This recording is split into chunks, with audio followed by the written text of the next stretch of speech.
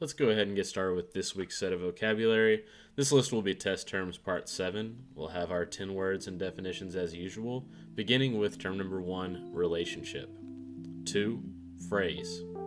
3, description. 4, difference. 5, similar.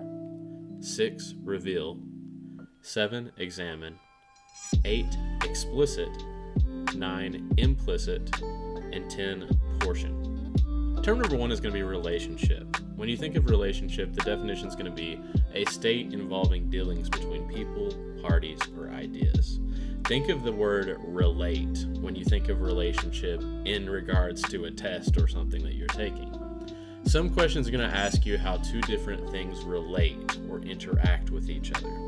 For example, a question could ask which statement best describes the relationship between the passages. It's asking how those passages connect to each other or what they share in common between each other. Think of it as a connection or how they deal with each other. Term number two is going to be phrase, which is an expression consisting of one or more words. If you're reading a passage, like a longer piece of writing, you may be asked to look at a specific phrase or set of words within it. Sometimes these may be quotes, for example. You're most likely going to see this word in questions that quote the phrase you are being asked to analyze and look at deeper. Just think of it as a short collection of words together instead of the whole passage, and you'll be in pretty good shape here. Term number three is going to be description. You know that a description is a statement that represents something in words. A description uses language to illustrate the characteristics of a person or thing. Descriptions in literary texts can paint a picture in the reader's mind of what something looks like or feels like. Descriptions usually include adjectives or verbs to help them describe. If I asked you to pause the video and to look around at the classroom or your room or whatever room you're in right now and describe it or to give a description, in your mind you're you're thinking about words that you can use to tell whoever asked you that question what that place looks like, what that room looks like, the different things in it, and what makes it an individual, unique room.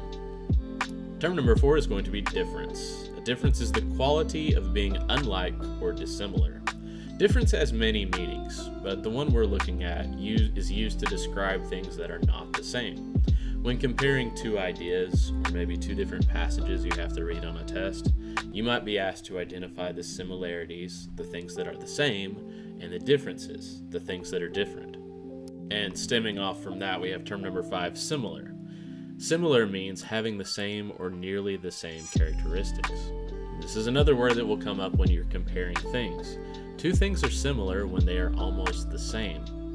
When you notice that two things are similar, you're identifying the similarities or the sameness between those two things.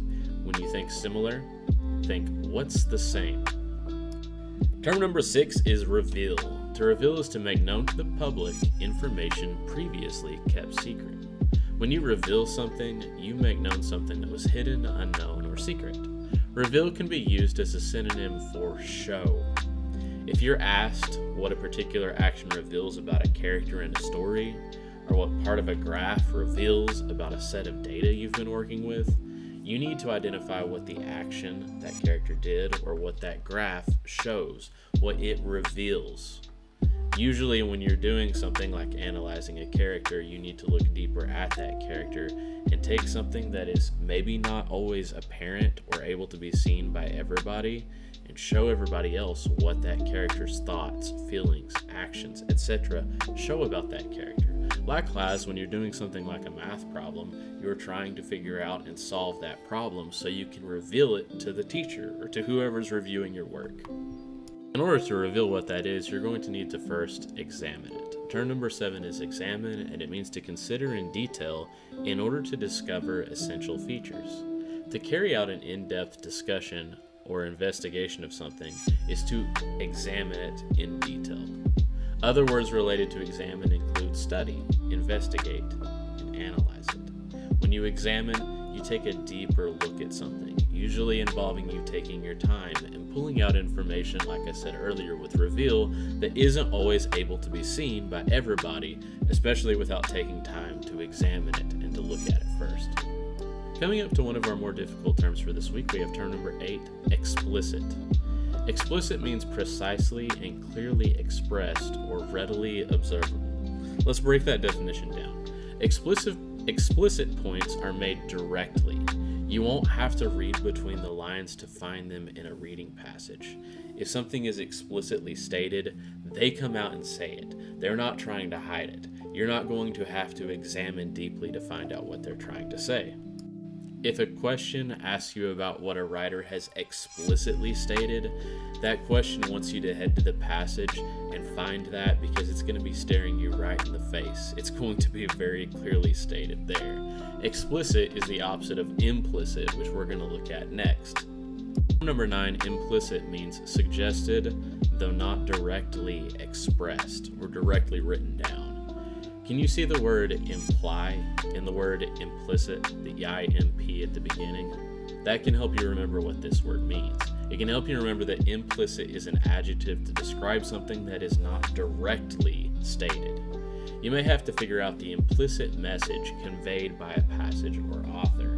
If you're asked to find the implicit meaning of something, you're being asked to find out what the author is implying in this passage. They don't want to come out and say it, they want you to examine it, analyze it, and understand what their hidden message is there, what their implicit message is. Number 10 is portion, something determined in relation to a thing that includes it. A portion is just a section of something or an amount of something. Questions on tests may refer to the underlined portion of a passage, and it's just saying you just need to examine the underlined part of that passage, that portion or part of a whole. Think of portion as sort of a part of something. If you're given a portion of mashed potatoes at your lunch, that's just a small portion of the giant vat of mashed potatoes they have in the cafeteria. And that's an introduction to the 10 words from our test terms part 7 list. If you need to go back at any time to hear what those words sound like or to get a brief definition for them, feel free to do so.